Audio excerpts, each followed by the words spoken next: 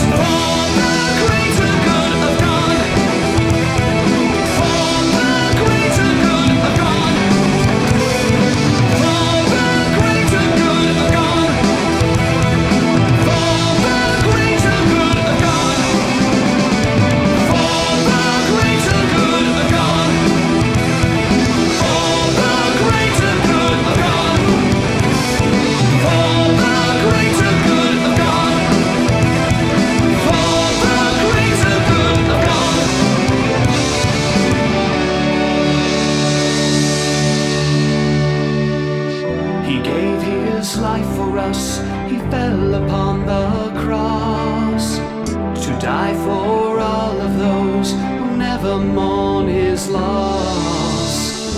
It wasn't meant for us to feel the pain again. Tell me why. Tell me why.